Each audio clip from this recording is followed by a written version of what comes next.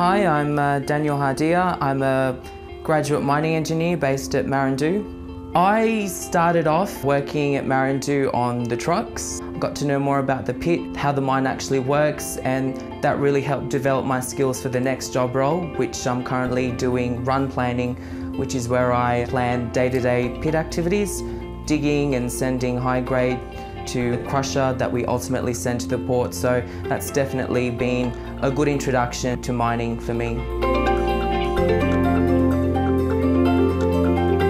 I liaise with control and also the production supervisor to determine where the dig unit should go. It's pretty jam-packed. I find that I'm always busy and it definitely keeps you on your toes.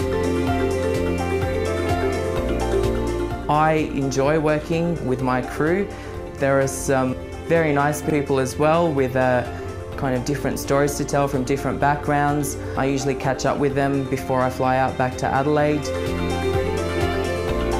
For me, I guess the most important part is uh, they're very supportive and they've helped me grow as a mining engineer and also as a person.